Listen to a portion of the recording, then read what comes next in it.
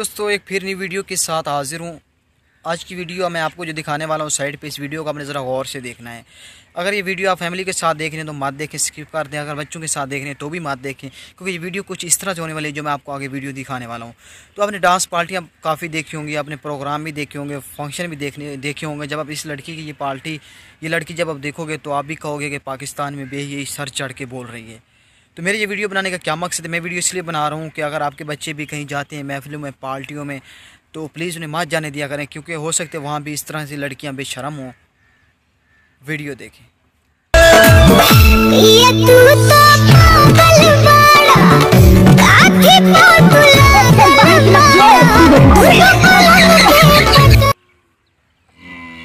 तो दोस्तों, जिस तरह से आपने ये वीडियो देखी, इस लड़की के बारे में आपकी क्या राय कमेंट सेक्शन में दे। मिलते अगली वीडियो तक। फ़िलहाल इतनी अल्लाह हाफिज़। बाकी बात बुरी लगी तो मैं माजर चाहता हूँ।